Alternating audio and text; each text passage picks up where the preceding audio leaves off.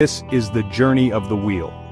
Let's rewind to around 3500 BC in ancient Mesopotamia. Early humans had already invented agriculture and pottery, but moving heavy loads was still a back-breaking task. The first wheels weren't attached to vehicles. They were potter's wheels, used to spin clay.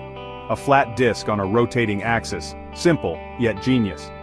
But this spark would ignite something greater. Sometime around 300 years later, someone had a groundbreaking thought. What if this spinning wheel could carry a load? Enter the wheel and axle mechanism.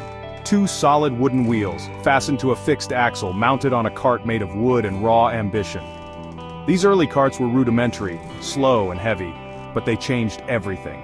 Transporting goods became easier, trade expanded and civilizations grew faster than ever before. In the ancient world, evolution was inevitable. The solid wooden wheel gave way to a lighter, stronger innovation, the spoked wheel. Invented around 2000 BC, likely by the Egyptians or the Indo-Europeans, spoked wheels revolutionized speed and mobility. They were used in chariots, the tanks of the ancient world. Fast, agile, deadly.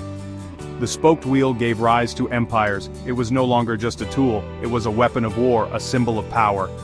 Fast forward to the 18th and 19th centuries, the Industrial Revolution.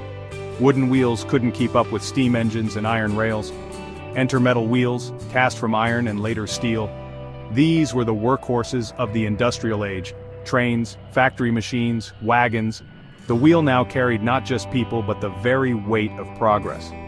This was the age when precision engineering met ancient design.